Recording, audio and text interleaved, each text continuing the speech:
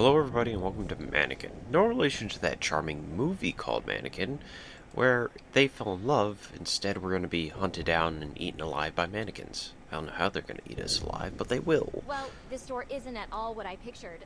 Why am I looking down? Should I be looking you in the eyes? Um, excuse me, but yeah. it shouldn't matter if I bought these clothes three months ago. Yes, it, it So really cursed. does. And this store as well. Well, well, okay. I don't even... Ma'am, there's a return policy for a cares to make reason. Go home, old lady. Man, you're really edgy. I mean, like, why are you... Oh, there's a key. Do I need this? Can I pick this up? No. Maybe I'll pick it up later. What the hell? I need to check the circuit in the back. Uh, yeah, that sounds like a great idea, except I don't want to. Shouldn't I just go home? God, these are creepy mannequins. What the heck? I hate mannequins. Man. Of course there's a sprint mechanic, because of course I'm going to need to be running for my life. Oh, God.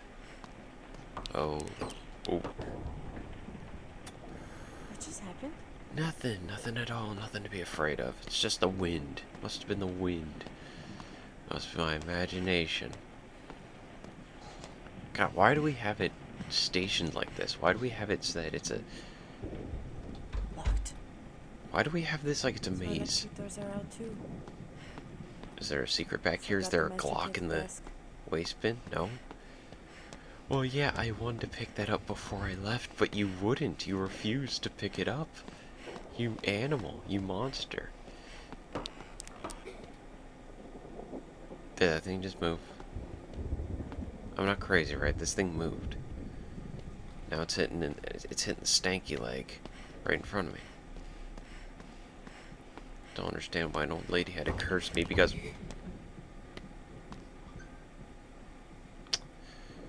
Now, I might be crazy, but I don't think this was here before.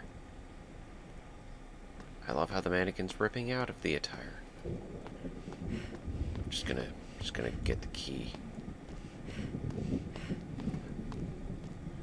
Okay, they make noises when they move. Thank you, God. Did you move? No, you didn't move. Neither did you. You two are being good little Girl Scouts, while the others are being naughty. Why can't I turn off my flashlight? Why is that a thing? How you doing? I'm Just gonna grind up on you. Maybe that'll stop your evil. There are... There are a lot of you missing. Can you...